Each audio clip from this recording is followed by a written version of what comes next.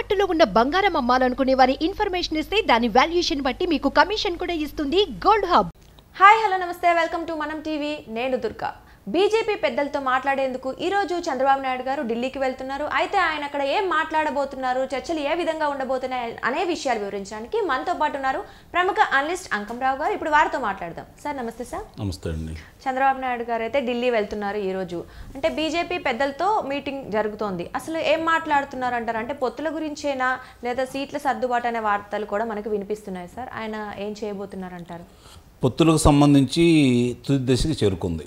ముఖ్యంగా ఏందంటే భారతీయ జనతా పార్టీ వాళ్ళు ఎన్ని రోజులు ఆపటానికి కారణం ఏందంటే వాళ్ళతోటి మిత్రపక్షాలు ఉండవాళ్ళే కాకుండా కొంతమందిని పాత మిత్రులను మళ్ళీ తీసుకుంటున్నారు అలాగే కొత్త మిత్రులను కూడా కలుపుకొని ముందుకు వెళ్తున్నారు వీళ్ళందరితోటి రేపు ఒక సమావేశం ఉంది.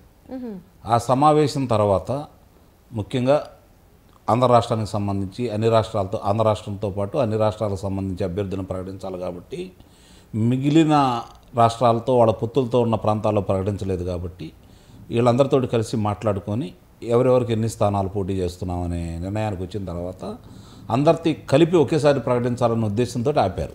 అంత తప్ప వేరే ఏం లేదు దీంట్లో పొత్తు అనేది ఒక నిర్ణయానికి వచ్చేసారు. కన్ఫర్మ్ అంటారు. ఆ, దాంట్లో ఎలాంటి సందేహం కూడా ఏం లేదు. అంటే ఎప్పుడు ప్రకటించే అవకాశం ఉంది సార్? రేపు రేపు రేపు కానీ ఎల్లుండి కానీ ప్రకటిస్తారు. అంటే మనం లాస్ట్ టైం చంద్రబాబు నాయుడు గారు ఢిల్లీ వెళ్ళినప్పుడు కూడా వెంటనే ఇంక రేపు ఎల్లుండి ఆ ప్రకటిస్తారు రోజు అనుకున్నాము. పరిస్థితి వేరు. ఇంతవరకు ప్రకటించలేదు ఆ రోజు పరిస్థితి వేరు. ఆ రోజు వీళ్ళిద్దరి మధ్య మాత్రమే చర్చలు జరిగినాయి. ఇప్పుడు అలా కాదు.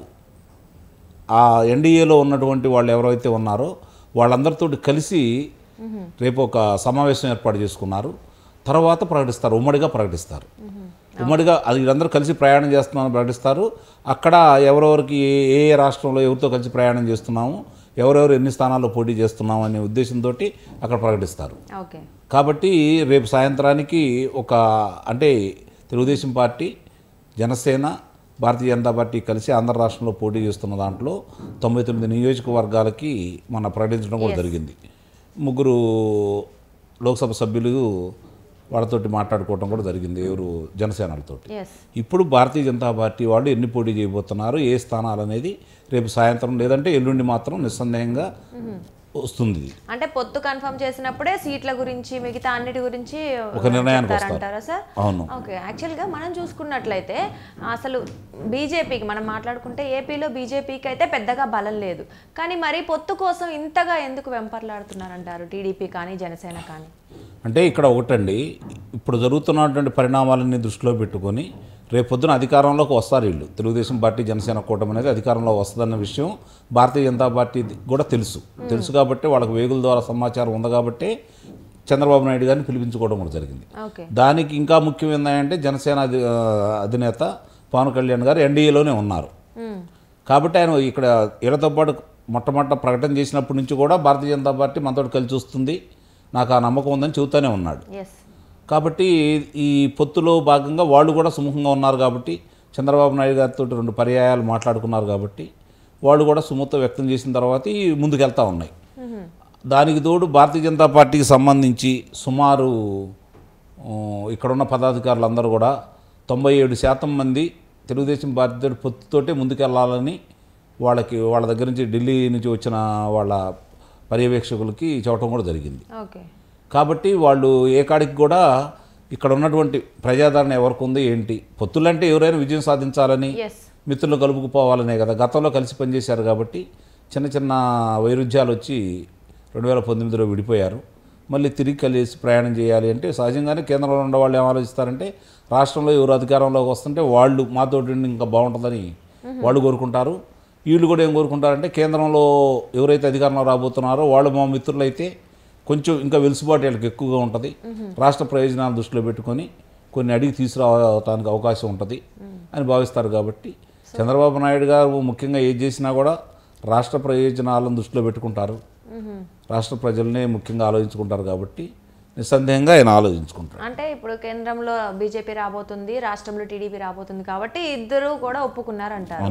కానీ మరి వాళ్ళకి సీట్లు ఇవ్వాలంటే ఖచ్చితంగా త్యాగం చేయాల్సి వస్తుంది. మరి. అక్కడ అభ్యర్థుల నుంచి ఐ మీన్ వీళ్ళ దగ్గర కార్యకర్తల నుంచి నెగిటివిటీ రావచ్చు. లేదు గెలవలేకపోతే ఒకవేళ బీజేపీ నుంచి ఎవరైతే పోటీ చేస్తున్నారో వాళ్ళు గెలవలేకపోతే పరిస్థితి ఏంటి?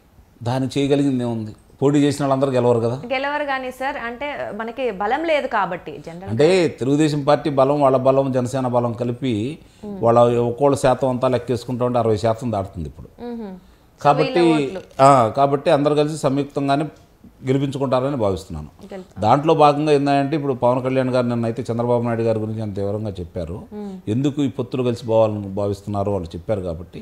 అలాగే భారతీయ జనతా పార్టీ కూడా రేపు పొద్దున చంద్రబాబు నాయుడు గారితో కలిసి ప్రయాణం చేయబోతుంటే రాష్ట్రానికి ఏమేమి ప్రయోజనాలు రాబోతున్నాయి? ఏమేమి చేయబోతున్నాం?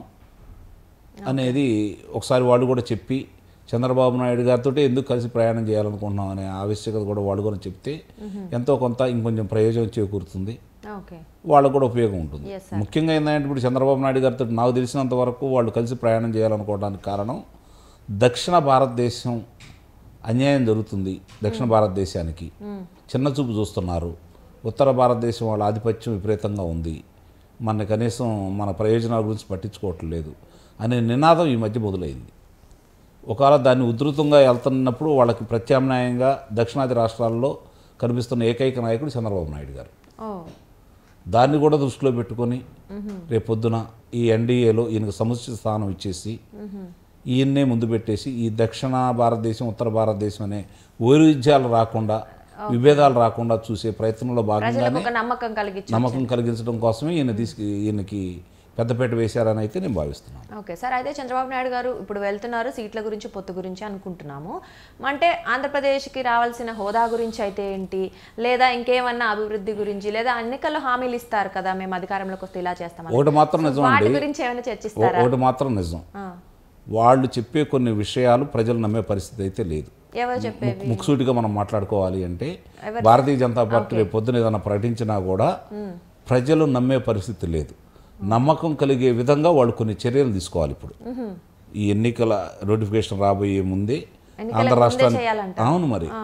అమరావతి ఏకైక రాజధాని అని కావచ్చు ఇక్కడ జరుగుతున్న పరిణామాలు కావచ్చు వివేకానంద రెడ్డి గారి హత్యకు సంబంధించింది కావచ్చు నిన్న సచివాలయాన్ని తాకడ పెట్టిన విధానం కావచ్చు ఇవన్నీ కూడా పరిగణలో తీసుకొని దాని మీద ఏం చర్య తీసుకోబోతున్నారో వాళ్ళు ఒకటి రెండు చర్యలు తీసుకొని మేము ఇది చేయబోతున్నాం అనే నమ్మకం ప్రజలకు కలిగించాల్సిన అవశ్య ఆవశ్యకత భారతీయ జనతా పార్టీకి నిస్సందేహంగా ఉంది.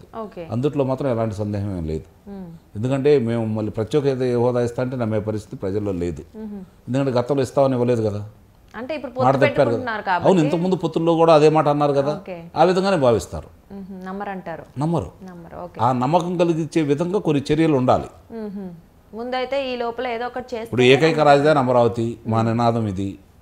ఇలాంటి కొన్ని పొందుపరిచి దాంట్లో ఉమ్మడి ప్రణాళికలో భాగంగా తెలుగుదేశం పార్టీ చెబుతుంది జనసేన చెబుతుంది అమరావతి ఏకైక రాజధాని అని ఓకే. వాళ్ళు కూడా దానికి ఒప్పుకొని ముందుకెళ్తారని అయితే నేను భావిస్తున్నాను. అప్పుడే వాళ్ళ మీద నమ్మకం ఏర్పడుతుంది. నమ్మకం ఏర్పడాలంటే ఖచ్చితంగా ఏదో ఒకటి.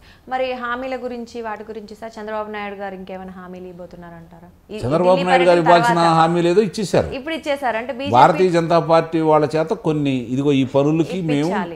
మేము బేషరతుగా ఈ రాష్ట్రానికి జరగబోతున్నాయి వీటన్నిటికి మేము చేయబోతున్నాము అని చెప్పని వాళ్ళు చెప్పాల్సిన బాధ్యత వాళ్ళ మీద ఉంది. ఓకే. మొత్తానికైతే అనౌన్స్మెంట్ బీజేపీ తరపు నుంచి వచ్చిన తర్వాతనే మనమైతే కన్ఫర్మ్ అనుకోవాలి. సో అంటే పొత్తు అయితే కుదిరింది. అందుట్లో ఎలాంటి సందేహం కూడా ఏం లేదు. నూటికి నూరు శాతం పొత్తు అయితే కుదిరింది. అంతిమంగా ఏంటంటే ఈరోజు చంద్రబాబు నాయుడు గారితో సమావేశం అయిపోయిన తర్వాత రేపు ఎన్డీఏ మొత్తం కూటమి అంతా కలిసి కూర్చొని మాట్లాడుకొని వాళ్ళు ఒక నిర్ణయానికి వస్తారు కాబట్టి అందరూ భాగస్వాములను కలుపుకొని మాట్లాడుకుంటారు కాబట్టి అది అయిన తర్వాత ప్రకటన వస్తుందని అయితే నేను భావిస్తున్నాను. మరి సార్ ఈ పొత్తుకి మూలమైనటువంటి పవన్ కళ్యాణ్ గారు మరి వెళ్ళలేదు ఎందుకు? వెళ్తున్నారు ఆయన కూడా. ఆయన కూడా వెళ్తున్నారా? మరి అంటే ఆయన ఇంకేమైనా అంటే రేపు దాంట్లో భాగంగా ఎన్డీఏ కూటమిలో భాగంగా ఆయన వెళ్తున్నారు. రేపు వెళ్తున్నారు. ఓకే సో అంటే ఆయన నేను దండాలు పెట్టి మరీ నేను ఒప్పించాను అని అన్నారు కదా.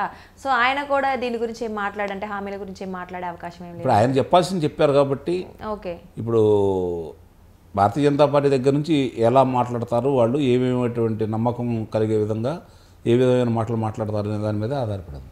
ఓకే సరే సార్. చూద్దాం. మొత్తానికైతే ఢిల్లీ పర్యటన అయిపోయిన తర్వాత వాళ్ళ చర్చల అనంతరం ఎవరు ఎటువంటి ప్రకటనలు చేస్తారో పొత్తు గురించి కానీ ఇంకా ఏమైనా ఇస్తా అసలు ఏమైనా ప్రజలకి ఉద్దేశించి ఏమైనా చెప్తారా అవన్నీ వెయిట్ చేసి చూద్దాం sir. Thank you so much.